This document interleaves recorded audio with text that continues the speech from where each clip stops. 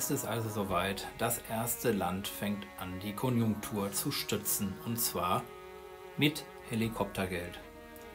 Hiervor wurde bereits in weiten Kreisen gewarnt. Die Frage ist nun, was ist das Geld noch wert?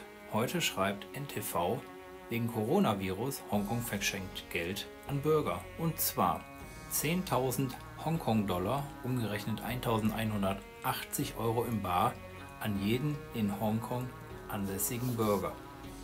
Beginnt jetzt final die Zeit der Sachwerte Gold, Silber, Immobilien etc.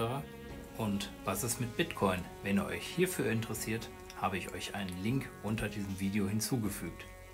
Warten wir es ab. Wenn euch dieses Video gefallen hat, freue ich mich über einen Daumen hoch. Wenn ihr zukünftig noch mehr Videos von mir sehen möchtet, abonniert gerne meinen Kanal und vergesst dabei nicht die Glocke.